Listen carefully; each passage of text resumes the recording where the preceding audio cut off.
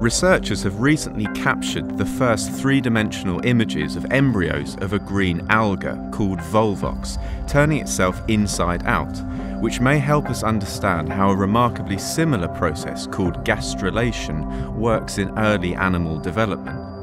The images were used to test a mathematical model of morphogenesis, the origin and development of an organism's structure and form, and understand how the shape of cells drives the process of inversion when the embryo turns itself from a sphere to a mushroom shape and back again. These time lapse recordings show that during inversion, one hemisphere of the embryo shrinks while the other hemisphere stretches out. Through mathematical modelling, the researchers found that only if there is active contraction of one hemisphere and active expansion of the other does the model yield the observed mushroom shape. The experimental and theoretical methods demonstrated in this study will be expanded to understand not only the peculiar inversion process, but many of the mysteries of how morphogenesis works.